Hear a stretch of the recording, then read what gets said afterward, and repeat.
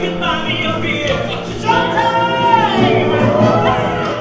biggest challenge for Saigon was trying to mount a show that many people know in a way that they haven't seen it before, in a way that they will look at it and think, oh, this is fresh or new or has a signature about it that is ours. Miss Saigon, by virtue of the circumstances in the story, I don't think you have to play the circumstances. I'd rather play the hope and the love story in it, which um, is sort of Romeo and Juliet.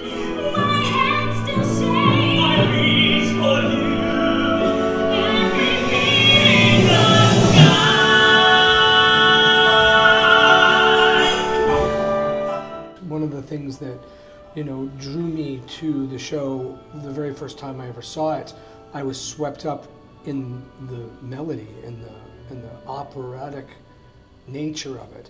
I mean, by virtue, it's based on an opera. So I think they did a really wonderful job at taking, you know, Madame Butterfly and making it this sort of contemporary opera. Um, and I'm somebody who loves operatic scores and love soaring melodies and soaring voices, and this show is packed with them. So it's been a, you know, a, a joy every day because it's so sumptuous and rich.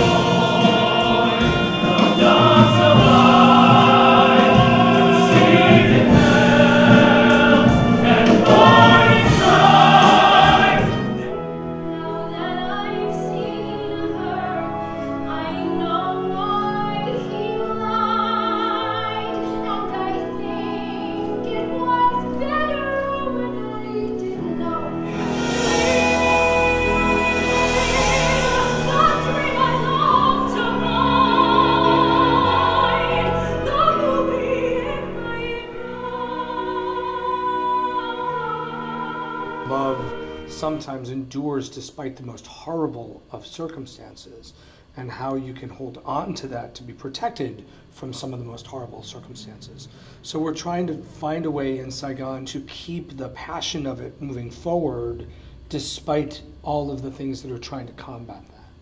It appeals, I think, to everybody on some level. It's if you love musicals, it's a spectacular piece of theater. If you love great storytelling, it's a spectacular piece of theater. If you love pageantry, come and see the show. I'm incredibly excited for our audiences to see it.